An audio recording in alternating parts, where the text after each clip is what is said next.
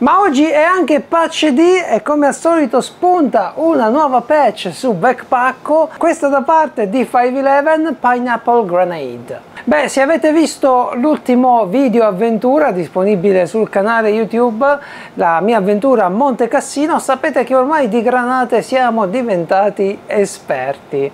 Quella che vedete rappresentata in questa patch abbastanza stilizzata prende spunto dalla cosiddetta Pineapple Grenade, cioè la granata ad ananas, per gli amici la MK2 utilizzata dall'esercito degli Stati Uniti durante la seconda guerra mondiale e, il, e la guerra del Vietnam le bombe a mano sono presenti da secoli nelle dotazioni degli eserciti e le prime avevano questa forma un po' tondeggiante a, a granata con dei chiodi dentro, con dei frammenti dentro in grado di esplodere. Il concetto è rimasto più o meno lo stesso. E se vi piace attrezzare il vostro zaino, il vostro equipaggiamento con una patch in cuoio riportante questa granata stilizzata, beh la trovate su backpacko.it insieme a tante altre patch. Le state vedendo passare a schermo, sono tantissime, ce n'è una per ognuno di voi.